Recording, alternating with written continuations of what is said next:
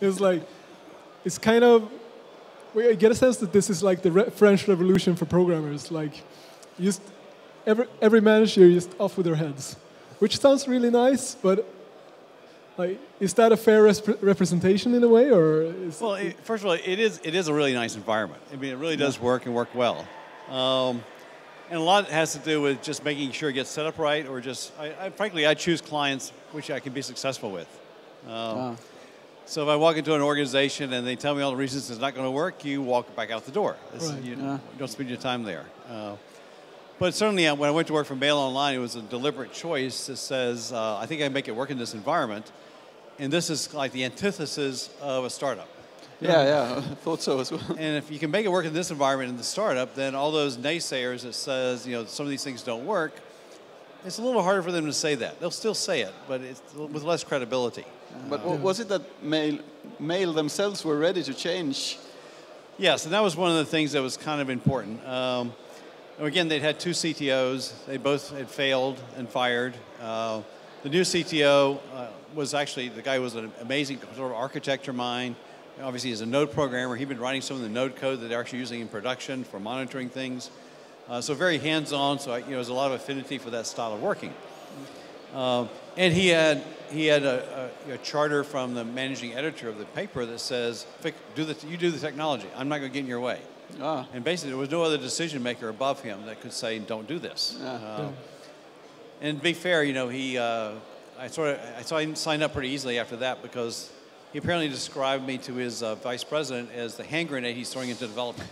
and with that sort of charter, uh, you almost couldn't turn it down. yeah, yeah.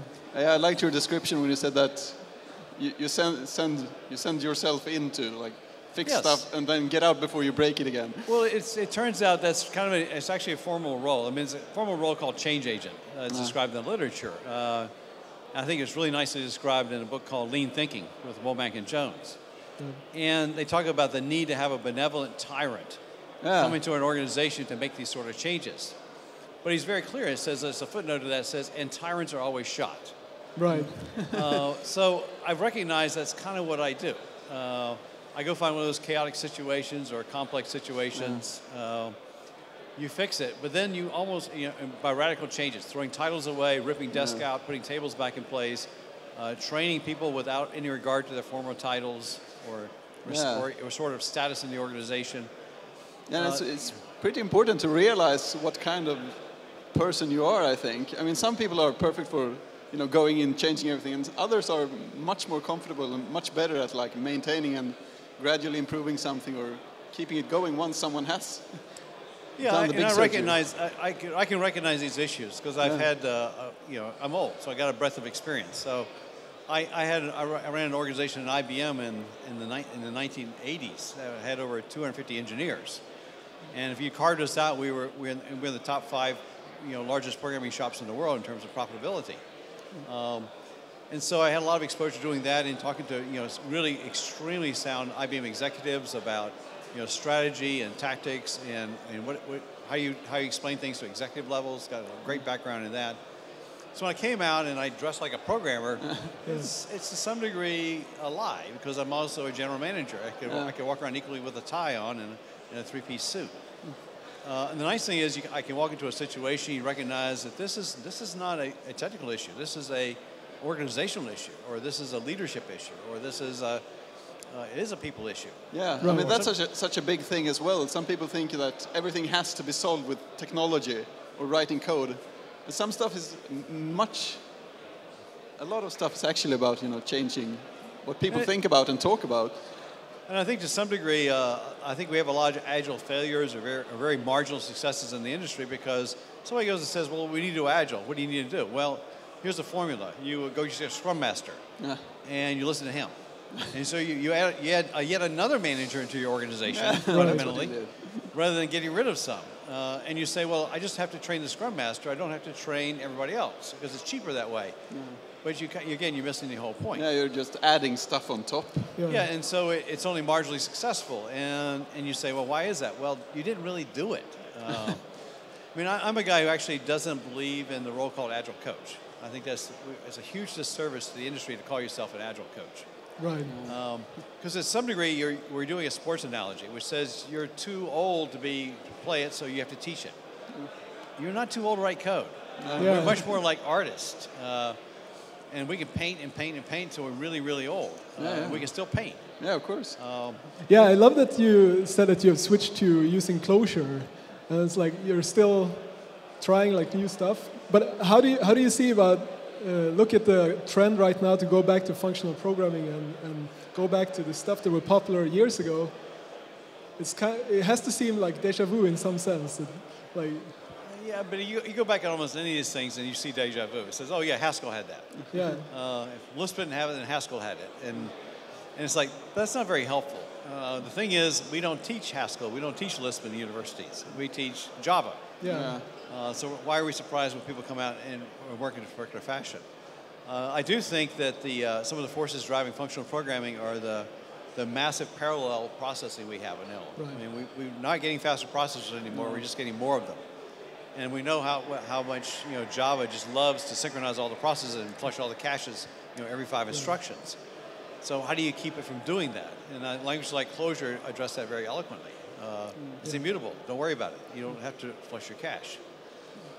So sometimes I get a bit cynical and I start thinking that maybe maybe the key to success is, is change itself. It's not really what you change to. So a lot of the like I guess get the sense that a lot of the methodologies are kind of like fad diets, you know. It's like it's like if you just change to this like new diet, you just drink orange juice, you're gonna solve your situation.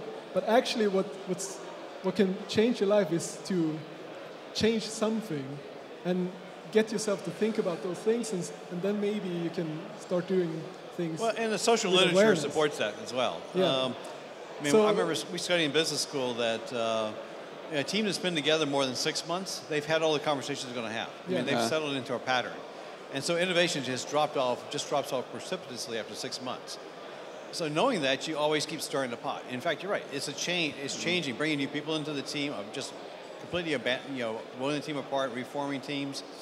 The dialogues happen again, and sometimes the answers are different. Now there's Clojure available. Uh, Now there's Amazon available with my. So all the decisions I made five years ago with this team, not necessarily true anymore. Yeah. So it seems like often what people focus on when they talk about agile is the um, is the process and the development model is you know like we have sprints, we have stand-up meetings, and it's all ritual. Whereas like the true, the real thing that's making it work is change and being open to change, and that part people kind of miss. Well, maybe. I, I, also I also sort of say you know process is important. You got to put the enabling processes in place. Right. But then you need to invest in the people. So it's not a matter of bringing a scrum master in there. It's really saying, spend some time learn Clojure. Uh, You know, let's learn how to deploy into Amazon. Uh, you, just you start using Docker for our, for our container environment. Uh, that's very important to get the people up to speed.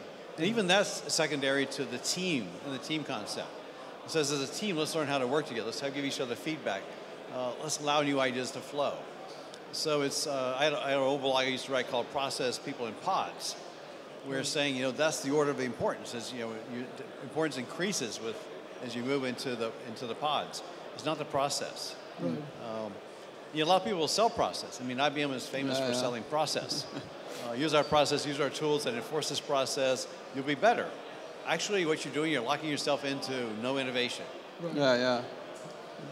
I So mean, it's kind of like diets, really. I mean, everyone is on some kind of diet because a diet is what you eat, but one diet is not for everyone. And just because you eat a particular diet doesn't mean it will help you. But finding my diet or my process that works for me lets me focus on other things instead and get some stuff out of the way that I'm not as interested in. I, would say that people we I've typically worked with, in uh, a- going all the way back to ThoughtWorks, you know, four or five companies back, uh, I tend to look for two different skills, and so I'm probably selecting for these skills. One is self-learners. Uh, I, you know, having lived through this many, many generations of technology, being able to be motivated to pick up the next technology and try it is, you know, I think, a very key skill to being Yeah. successful in these environments I set up. And the second thing is you like to deliver. It's not a matter of just playing with the tech. You actually like to get something out and people using it. Yeah. right. So I don't, I don't care if you're a university graduate or you've been out there 50 years. Uh, if you have those two skills, this is a really ideal environment. And it almost as people that don't fit that model get very uncomfortable and will leave the organization pretty quickly. Right. If you're a, if you're a Java Spring programmer and that's what you learned 10 years ago and you're still writing it and you think you're going to finish your career that way, do not come join my team. No. Uh, you will not be a happy person. no. So do you think people can change? Like when you when you get into an organization, there's someone struggling against, you know, the things you want to do. Well, there's, there's, there's two things. That, you know, again, Mail Online is a bit more radical but recent case. Yeah. Uh, they were, uh, were a sizable part of the IT organization that left when I came in. You know, within, within a few months of my coming in and, and saw the trend where it was heading. Yeah. Because they wanted to be still, I want to be an operations guy. I don't want to be a DevOps. I want to be ops. Yeah. Or I want to still be a QA. Uh, so they, the ones that don't want to change, they kind of filter out on their own. Yeah. Uh, and you attract the people that sort of meet the criteria you're looking for. So it's a bit self-filtering in that. And I think there are a lot of people out there that you know want to earn the paycheck. This is a job. I have other things I want to do. Um, so yeah, I want to be an ops guy. I want to be able to, to run Unix servers the rest of my life in a captive environments. You know, good. I'm glad you enjoy doing that. Uh, we may need you one of these days when we get that, but otherwise, you're not going to fit in my, my new world. Yeah. So, how do you feel about remote work, like distributed teams and remote work? Do, do you think that's good for agility? Like you can, maybe you can be more flexible in how you put your teams together if you can bring people together all over. Or Well, well, certainly when I was in Outpace, we didn't have any two programmers sitting in the same room anywhere in the world. right, Uh, so it was 100% remote. Uh, we talked about putting an office in Chicago because we had enough programmers in Chicago, and they basically told us to go to hell. Because you will create this environment where some people are having conversations. We talked, we had lunch Yeah. together, we talked about this. We'll tell you about it later. Yeah, Right. exactly. You feel like they're second class citizens. And so they were very adamant we will not do that. Now, to but to sort of bring back the social nature, we did man- mandate pairing. pairing. okay. So we, we did remote pairing. It works really well. Um, I mean, video feeds are such that you can run a video feed with a 2 meg upload speed. I can share my my screen with you with a 2 meg upload Yeah, speed yeah. with you know less than 100 millisecond latency delay, so you can type on my screen. yeah, And we felt that pairing was the replacement for that social thing. I, we may have hired you. I know you're a smart guy, but unless I'm pairing with you, it really doesn't stick, which you really know. Yeah, yeah. Make, makes a lot of difference. And so eh, I was sitting there in, in a very comfortable office in, in my little home office and all my screens around me. And you and I were working. You'd be, you'd be logically sitting beside me because you're on my side monitor here. And we needed to have two other guys join us. And we just they just joined into the same Google Hangout. And now there's four of us sitting around the table having a discussion. Uh, and, and these we could be sitting around the world. Um, that was actually worked amazingly well. yeah, So we finally got together. I mean, we got together the first time physically. Half the programmers I never met in person. yeah. right, But there were no surprises. I mean, I knew exactly how they thought, what they thought was funny, what they were really good at, except for some were really tall, some were really fat. uh, we had one young lady, and she was like, she was like 5'10". I mean, she, was, she was really tall, and it's like, wow, I didn't realize that. This other guy I thought was like six something. He was just really skinny, a little guy. Yeah, it's incredible. Like, you, you can never. There's always something that surprises you when you see someone in real life. But it, but it wasn't how that. It wasn't how we interacted with each other. It wasn't what No. we thought about. It was. It was just those superficial things Yeah, that were kind of interesting. Yeah. Uh, so I think it actually works really well. Uh, but you really have to create the atmosphere that the rogue guys are just not sort of subs in some way, but they're sort of first class in the team. Yeah, and that's a difficult thing. I mean, we have a bit of that problem at work. We're a pretty small company, so we have basically one developer who works, who doesn't work at the same office as the others, and that's kind of tricky because It is tricky. Uh, I mean, there are guys that work well that way. That Yeah, yeah, definitely. and there you can certainly find little things for these people to do, but maybe not as significant as, Yeah. as a core team. So there's some use of that, but. Uh, Yeah, but we certainly have that communication thing all the time. It's like three people talk about something over lunch, and oh yeah, we, sh- we have to remember to tell him as well. I mean, communication theory comes back as well. If you know, if you and I actually work closely together and establish that rapport, I can go somewhere else and we'll still have really good communication. And it, it has a half life of about six months. Yeah. Six months from now, it's about half as good as it was when we were sitting together. And that becomes a point where you kind of want to renew it. Yeah. So I come and live with you guys and, and work with you guys in the office for the next two weeks, and then it refreshes that, and then I can go off again. Yeah, yeah. I- I've run a lot of remote projects where we had a large number of programmers in India and some in the States. And we were separated by 11 time zones. Um, so almost as bad as you can possibly get. Yeah. But we would have some of our Indian programmers in the States, and we would, you know, for three, four, five weeks at a time, and steal some of their business analysts and programmers from their site and bring them and send them in India. Uh, the site was in Minneapolis. You couldn't get anybody in the summer because it's nice, but in the winter, it was not a hard argument. uh, they were willing to. Yeah. India, let's see how cold. Uh, what's Yeah, it? yeah. It's 25 degrees today. I'm coming. I'm on the plane now. That's great. So yeah, I think remote is, is the way of the future. Uh, I think Yeah. uh, you know, places like Silicon Valley, programs are extraordinarily expensive in Silicon Valley. And frankly, they don't provide the value for that price. Because Right. I can go into a place like Chicago or, or you know, places like uh, St. Louis, Missouri, which is where Strange Loop is. Yeah. Some really bright people in that, in that area. You can hire these guys for a fraction of the Silicon Valley guys and give them a high standard of living. Yeah. Yeah. Yeah, you you know about working remotely. You do it. Yeah, yeah, I work in a team that's completely remote. We don't, no one's in the office. We're spread over pretty much every time zone in the world. So it makes it difficult to arrange meetings, but it's also kind of liberating because you never, you're never having to be in the office at a certain time. Like Yep. You can set your times. So I assume you don't pair. No, nothing like that. No, but see, it's, it's, it's at least within compatible time zones, it's actually quite powerful.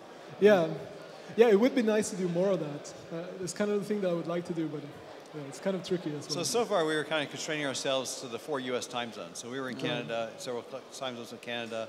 Uh, we down to Mexico looking for programmers, uh, and we were interviewing programmers in South America again for because the time zones are compatible. Yeah. I guess if you spread out more, you have to hire a couple of people in adjacent time zones at the same time or something. It certainly helps. Although I, I certainly, uh, when I was sitting in California, I would get up at seven o'clock in the morning and start pairing. Yeah.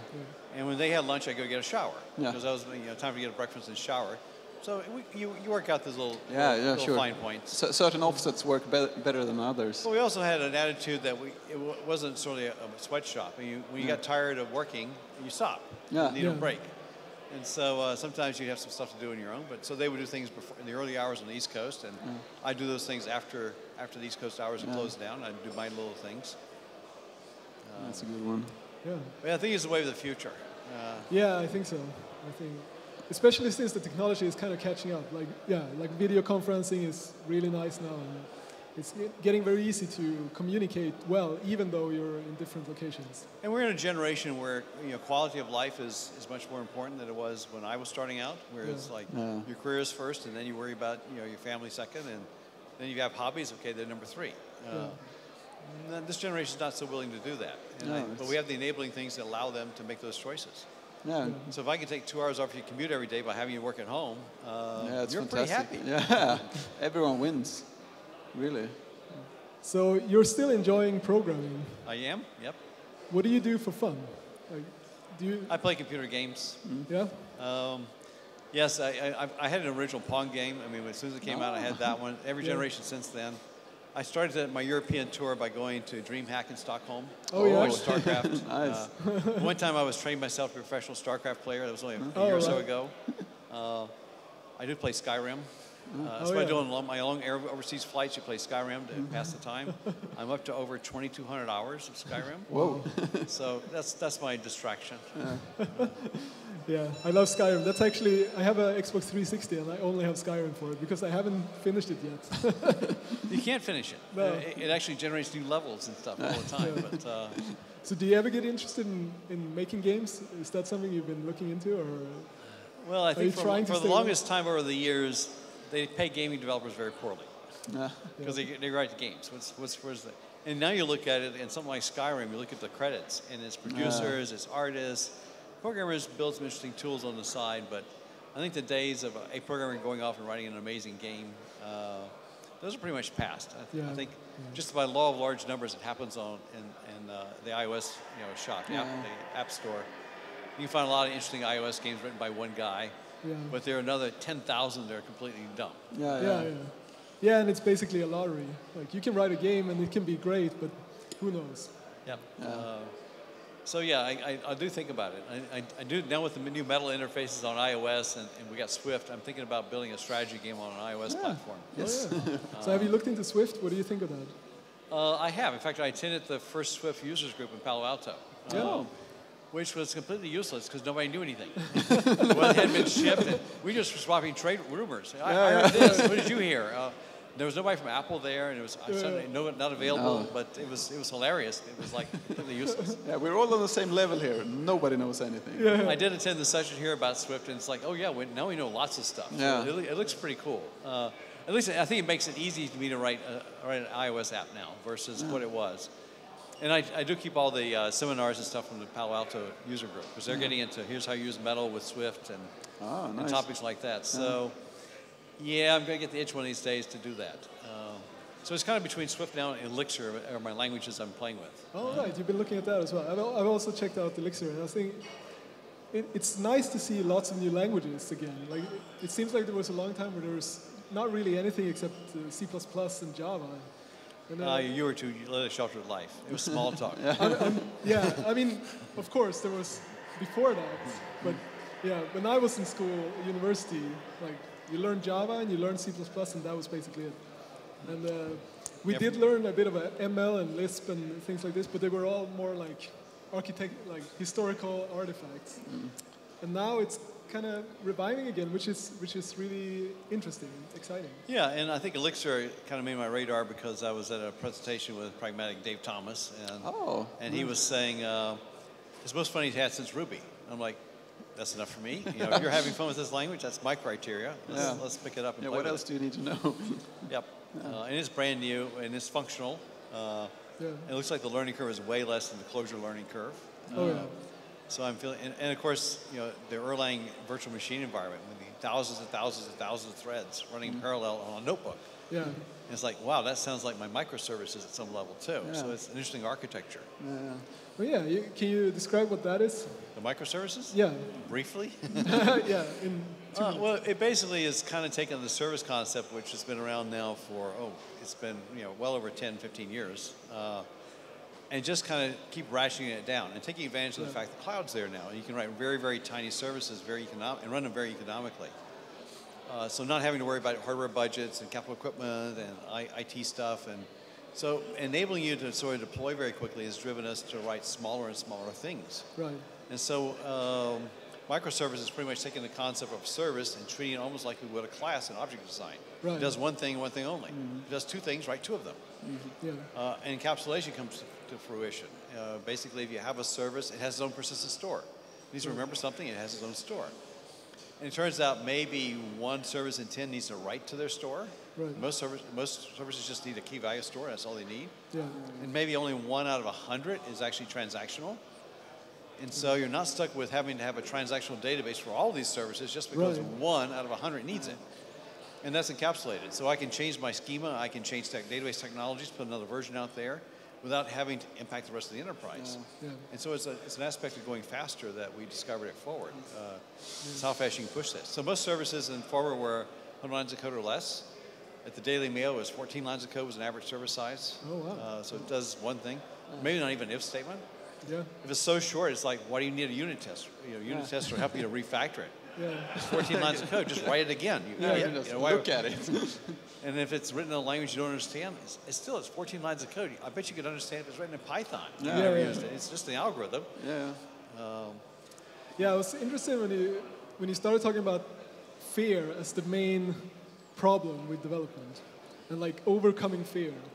And I feel if you can pare, pare things down as much as possible, like make things as simple as they are, find, then you don't have to be afraid of them either. You don't have to be afraid of changing them, and you don't have to be afraid of, uh, like you, like you say, testing is basically just looking at it and saying, wow. And I think, I think a lot of the success was we also put in fast failure. So almost Yeah. the first service we wrote were monitoring services, looking at our KPIs and stuff like that. So if you have a KPI monitor out there showing you how your clicks are running, and you make a change that kills it, and they, they start dropping, it's like, okay, Yeah. I, I figured that out really quickly. This is a really bad idea. Uh, and that makes you more fearless. It says I can try Yeah. something and I can just sit there and watch it for a few minutes and figure out whether it's good or not. And if it's bad, back it off. That's uh. much easier than writing a unit test or, or an acceptance test or going through that protocol or having a meeting about it. I mean, none Yeah. of those things make sense anymore. So we don't mind failure as long as the cost of failure is manageable. right. Yeah.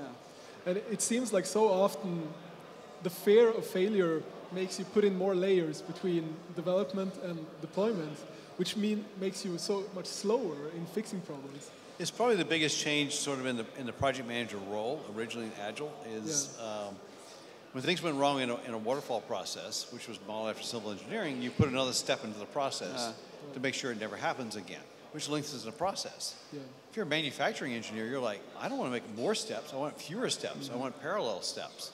Yeah. And so the reaction of a manufacturing to this situation is, how do we, you know, make, how do we figure out what this mismatch was quicker, Yeah. rather than put a, put something in permanently to make the process longer.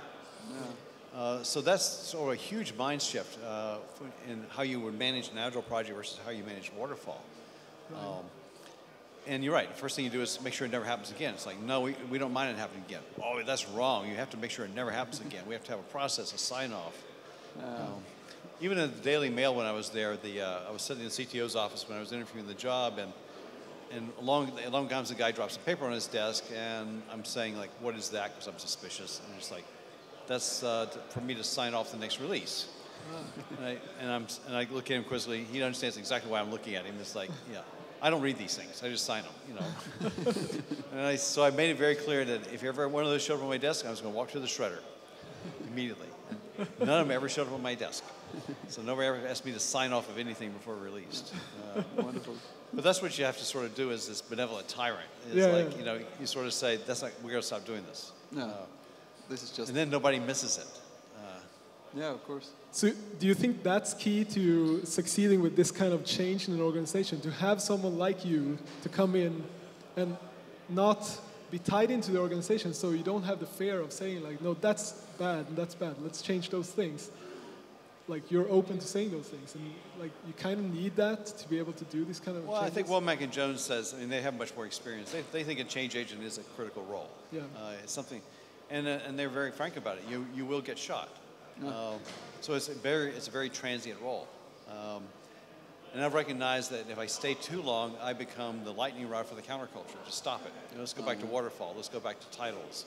Yeah. And if you, re- if you get an organization running in this way, you remove yourself and they don't really have anybody to argue with.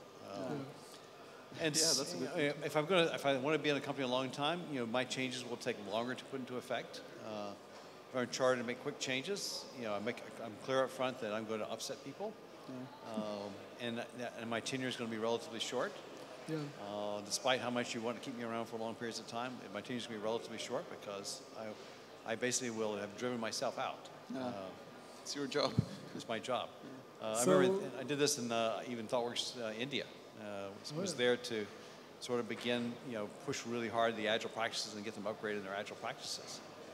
And uh, you know, six months later, you know, they were they were doing it, doing it like you said. I mean, I, I argued for you know pair programming and titles, and you know, getting, getting rid of the titles, and got a lot of stuff put in place. But there's a lot of people upset by that. Yeah. Yeah, of course. So I went back to the CEO and says it's time for me to go. And he said, No, you're really important.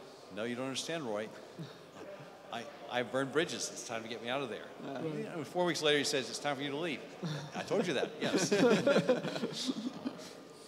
So, have you had any failures? Like, is there an organization where this kind of methodolo- methodology just doesn't work?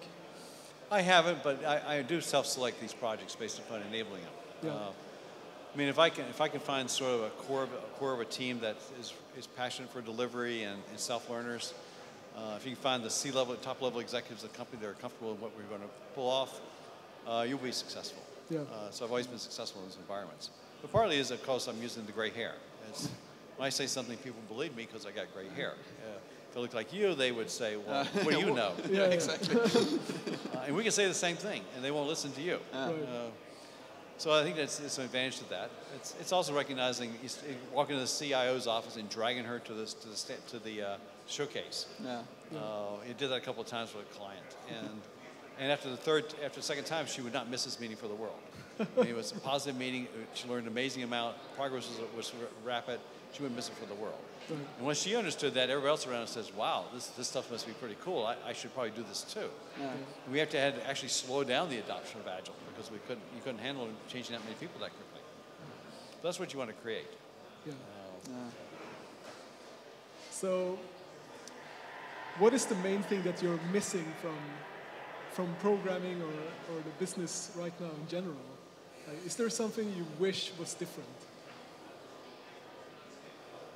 Hmm. I don't think I can think of anything off the top of my head. Let me think about that question. So, I noticed that you mentioned that you you started using Clojure, and the previous failures in the business were were rewriting in the previous languages. And you also mentioned that you were trying to get rid of Java at, at your workplace and kind of Okay. What is wrong with Java? is my question. Ah, what's wrong with Java? Um, most of the time, you're, when you're writing Java apps these days, you're usually you know bringing in frameworks like uh, you know, Oracle request buses and Yeah. and all this other stuff. And, and it turns out this this is just a massive overhead that makes it very difficult to change a program. Yeah. Uh, I think it's important to write a program that makes it very very easy to change. So the newer languages are better for that. Uh, uh, I think the microservice environment is better for this. But we, I know guys out there that are you know starting brand new projects. They're writing it in Java. They're using you know all the Oracle tools, and as far as I'm concerned, they're building a legacy app. Yeah. Uh, yeah. And yet they say, well, this Java has this huge following. Yes, it's at the end of life. And every end of life has a huge followings. Yeah. You know, look at COBOL. Uh, Yeah. Um, so I, I think to some degree, I certainly lose battles in these transitions, uh, Yeah. but I always win the war. Uh, so you lose a battle, you're like, yeah, okay, I, I know I know I have another way to attack this. Yeah. Uh, so yeah, the Java stuff died out on its own accord.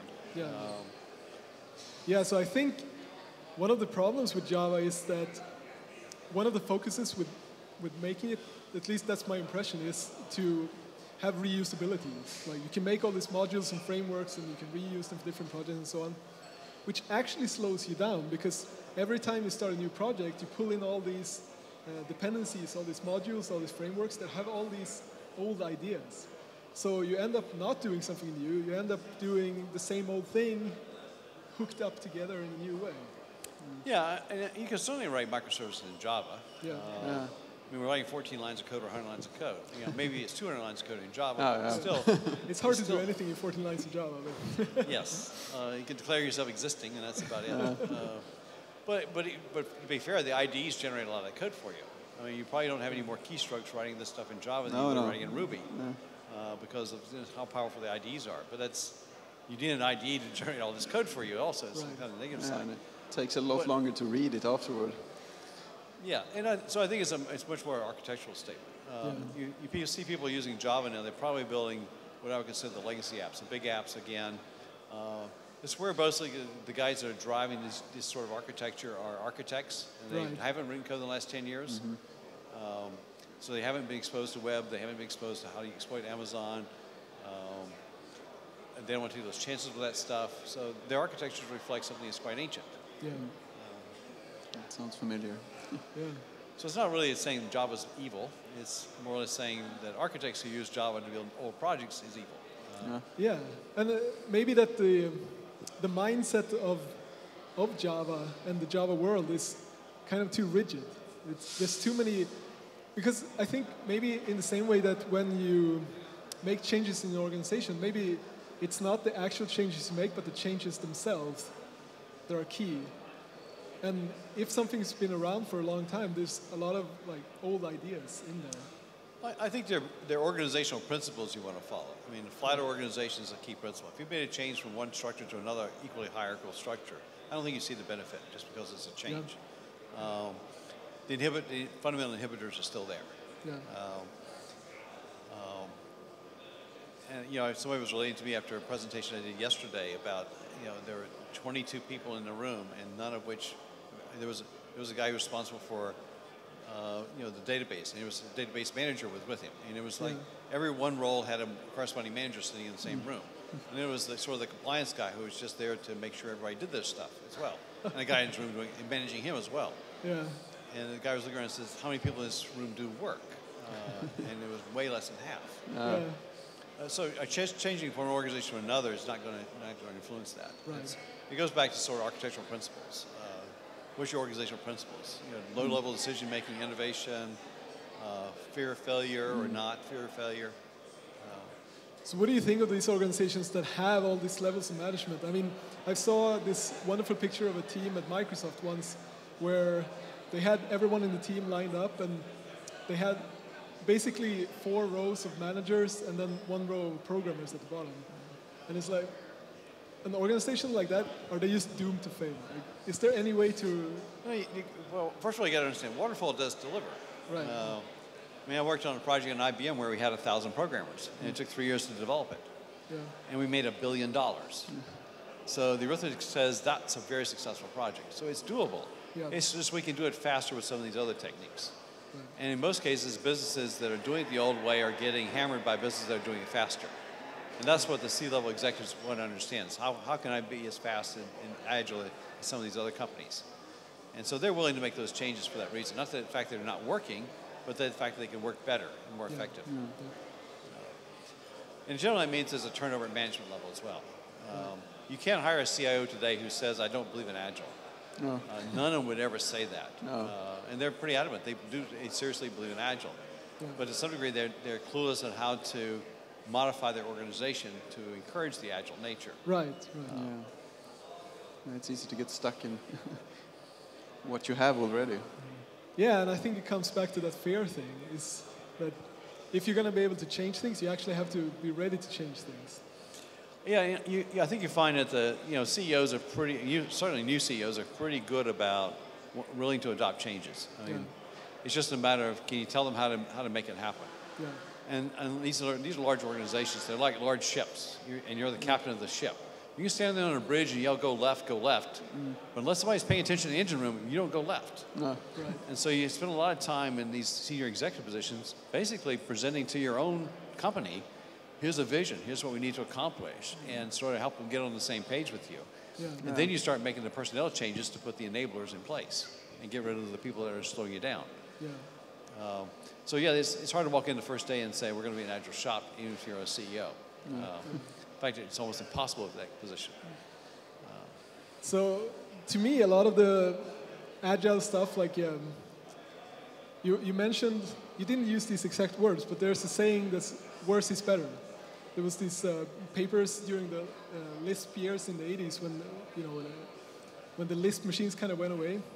Uh, there was a guy, I don't know if you know uh, Richard Gabriel. Uh, he was one of the drivers behind uh, Lucid Emacs. He wrote this paper called Worse is Better, where it's basically saying that C and Unix won because they're worse. They're not trying to solve everything, they're just releasing stuff that kind of, kind of solves the problem. And, they, and I get the feeling that um, Agile is quite, quite a lot about that, is to accept that worse is better. That you, you can't really get things perfect. And I think that's key, and that, that's what sort of freezes a lot of companies. You look at, say, Facebook versus MySpace. Yeah, I mean, MySpace owned that, that, that dom- domain, right, the whole, whole concept. And Facebook was successful. And it turned out it's because the programmers were basically unfettered. Uh, they, they, you know, they make a lot of mistakes. You see it in the press all the time. Facebook did this, your privacy's all compromised, or they do this to you. You have to say your real name now instead of your fake name, and Yeah. that's going to expose your sexual orientation. And, and it's like, who's watching these guys? And the answer is nobody. yeah, and that's the way it works. Um, that's just, and that's, and that's actually why they were very fast. But if you're looking, if you're sitting on the MySpace side of this equation, it's like, oh yeah, this is a feature in Facebook. Let's put it in our system. When, when can we schedule that? Let's put a plan together. Mm-hmm. Yeah. And by the time they roll that plan out, oh my God, they have another feature. Let's put a new plan together. and all of a sudden, of course, you you go away. So you know, speed time to market is huge. Yeah. You know, and it, it is a result of basically, you know, not trying to get perfect, trying to get something out there and try to see what happens. Um, Google is famous right now for hiring uh, project managers who have almost no experience in the domain they're working in. right. And the idea is these people don't come in with prejudice about what the answers are. They read the data. So they make decisions based upon what's going on, not based upon their years and years of experience of doing this domain. Right. And so they're claiming that's quite a successful combination for them, is that these you know, product owners, product managers don't have a background. Yeah. On the other hand, they still have managers. Uh, would well, you, would you not, say like there's not a perfect world, yes. and Oh, yes. rid of it? I, I would definitely say that. Yeah. I mean, I think there's two key roles in successful teams. And one is a visionary that has some idea what you want to accomplish. Not all the details are necessary, but a guy you can look to and says, yeah, that, that, we're heading in the right direction. And if somebody else in the organization is keeping the code absolutely gorgeous and easy to change, as, this, as the vision sort of forms itself. All the other roles you can snap in and out. So it's not that we don't need the, you know, we definitely need these visionaries. I mean, Outpace was, you know, one third of these business wizards. I mean, they were truly wizards that were t- telling other companies how to work better, and we're the experts in that. So they're truly the wizards. And we backed them up with two thirds of the company being these killer programmers. Uh, uh, that was sort of the magic formula for Outpace. So those two roles are kind of key, and those are basically the only two roles we staffed in in, uh, in Outpace. Right. If you don't have a visionary, I- you know, sometimes I've had to be the visionary, the guy who at least puts it out there, whether it's right or wrong. It's having no vision is useless. Uh, right. Um, And I don't mind doing tactical things, but I want to make sure it's tactical. You know, we're doing this not because it gets us there, but it's a, we can make some money here. It's not going to last very long, but some, let's grab some money right now. But understand, we're going to throw that away because that's not heading here. Mm-hmm. As long as you don't kid yourself about that, I'm perfectly fine with it. Yeah. I get a feeling sometimes that, um, or I think, I think it's a fact that programmers like to write code. Like that's what we do. So immediately when there's a problem, the solution is to write code. And it can be the case that you're kind of too fast into jumping into writing code, and sometimes you just need to slow down. And I get the feeling that the agile process is kind of, you can kind of get on this train that's just like you have to make the next sprint and you have to write code constantly. Would you say that there's like maybe every project should start with just everyone not doing any coding at all, just hanging out for a few sprints and then you start, or nah, that's a waste. It's a waste of time. Yeah? I do think it's important to start a project with a very small number of people. Right. Uh, never more than four. Right. Uh, and I've had teams that say, "Oh, here's your team of ten people." It says, "Fine, you take these six. You worry about these. I'm taking these four. We're going to go do something." Yeah. Um, and I think you add people in as you as you have productive work for them. Right. Because uh, you have ten people, and you're trying to get something started, and, and you don't have productive things for them to do. Morale goes to hell. Right. Uh, you're wasting a lot of money in the process. Um, but I think the first three or four guys like that, they form their core culture. Yeah. Uh, and you influence it as you bring new people into it, but it's just an influence at that point. Um, so, yeah, there's, the team needs to gel at some level, and I'm certainly a fan that once you build up one of these teams, don't reform the team when the next project comes along. Bring the work to the team. These guys already know how to work together, roles have been established. Yeah, you need to stir a few resources in there to keep it fresh, but the core team and, and how they work together, you don't want to go through that gelling time again. All right. Uh, but certainly, if you start a new project with new people, and we did a lot of this in ThoughtWorks, you know, a bunch of strangers show up one day. We know we're, we know we're, we're hired with, we know we're smart, but we never work with each other. It's like, okay, who can do what better? And, and you may have spent two, three, you know, sometimes six or seven weeks before your first real code rolls out. Yeah. But I think that's not because we need. I think it's because we need to gel as a team. Right. You need to get to know each other.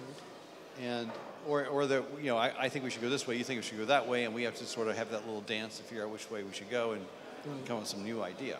Um, so I like to start much smaller than that. And if, if possible, start with a team that already exists.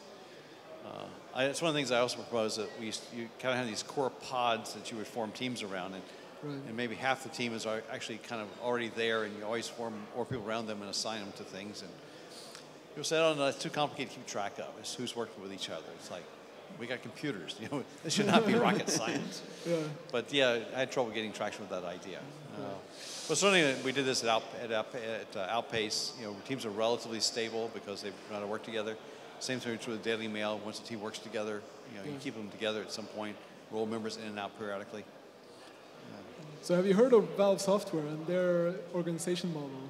Uh, is, um, yes, I mean they're famous for their you know, publishing their process and stuff like that. Yeah, exactly. Uh, and no managers and but yep. I think what they do is they kind of reform the teams all the time. But it sounds like you're kind of recommending the opposite that you should let the teams form themselves and have small teams, but kind of keep them. I, I suspect in practice there's no difference. Right. Um, I mean, once once we get together and work with each other and enjoying each other's company, we don't want to separate. Yeah. I mean, if somebody comes to you and says, "I'm going to pull you off and put you on this team," it's like, no, these are my friends. Uh, we, we, we work really well together, and yeah.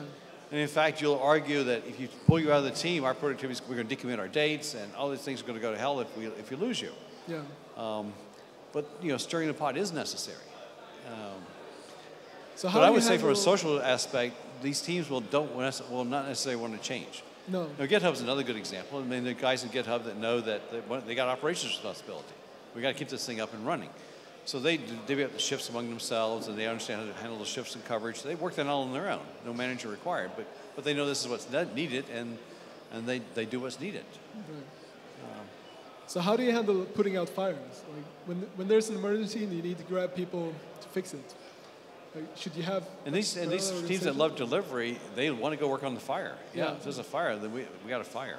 Yeah. I mean, one of our practices Oh. Did it sound? No? We oh, still have still, sound and everything. On. Just uh, the screen went out. So, you know, one of the uh, practices we had in Forward was uh, you could go ask a guy, borrow a guy from another team without even asking permission of anybody. Yeah. Uh, I need to work with you. And, And we went all the way to managing director. He says, as long as you don't borrow a guy more than two days a week, I don't even want to talk about cross charging. Right. So yeah, you're charged. You charge for this guy even though he's not working for you. Don't tough. I'm not, I'm, I'm not going to put the process in place to sort of manage that because he knew once you did that, there'd be permission. I Have to ask permission. Let's have a meeting and talk about should I borrow this guy. So our, our sort of corporate culture says if I need your help, I'm going to ask for your help. Yeah. And it's going to be a really strange situation where you wouldn't say yes and come work with me that day. Um, so I think it's a very powerful part of the culture that you can set up as well. And again, it's, it's getting rid of the guys who would want to keep track of that for you, because Right, that's something for them to do. Kill those guys off, and nobody's going to ask, that, ask Yeah, that question. Yeah. Again, this is one of the cases where my job was to kill the fear. Yeah. Uh, so yeah, we're not going to cross charge for this. Uh, and that made it possible to take you and if you wanted to work on something else, put you on this other team, Yeah. knowing that if I needed to pull you back for a day or two, there was no issue with that. There wasn't any hoops to jump through. I didn't have to have any, any pre, pre-agreements between that. I'll just pull you back when I need it. Yeah. And you'd want to come back if something you worked on is broken and they can't fix it. Yeah, you, you're coming back. yeah. Um, of course, the most thing to work on in our environment was fires, you know, because mm-hmm. fires means we're losing money Yeah. or, or something's not shipped. Uh, and we were all about the KPIs. Mm. I think that's one of the final things we did really well at Ford was we put business KPIs as our metrics for the programmers. Yeah. It was about making money, whatever. And we're programmers. We'll play whatever game you give us. We're, We like games, right? if you want us to count lines of code, we'll count lines of code and Yeah. do that. Or class number of classes, or hours, or story points. You name the game, we'll play the game. Yeah. So why isn't the game cap- making money or Yeah, getting clicks or Right. something you care about? Yeah. And it turned out when we put those metrics in place, the programmers had amazing ideas about how to make more money or get more clicks. That, that wow, the business said, "Can you do that?" Yeah. Actually, we've already done it. We're already making more money, and they're like, "Seriously?" um, so you know, that's one of the key things is let's, let's count what's really important to us, and it's not stories. Yeah, yeah. And I think maybe that's part of the flattening the organization as well, is to give people influence in, in like the business side as well. It's like if the programmers feel that it's their responsibility to make money, then they will actually care about that stuff. Yeah, I, I think maybe they don't care about the fact we're making a lot of money, but the fact it's the KPI and, and I, I can do it better than you can do it. Right. That becomes the game. It's just- Yeah. The fact it's doing something good for the company, maybe not even that important to them. Yeah. Uh, they care the CEO's getting a lot richer? Probably not. Uh, they care I made more money with my change than you made your change? I care about that. Yeah. Yeah. Yeah. Well, I think we're we're about done here. It was I a, think we're done. yeah. Excellent. It's a really great, Thank great, you, guys. great talking to Keep you. Talking if you want. I start repeating myself after a while, so Yeah, yeah. it's good to keep it fresh. Don't, don't we all? It's, after a while, sitting under the spotlights, you get kind of. Yeah, they're not too bad, are they? No, it's No, not it's not as bad Well, as it's it could be. been great in talking to you. Well, thank you, guys. Yeah. Maybe I'll see you here next year. Yeah. Yeah, I hope so.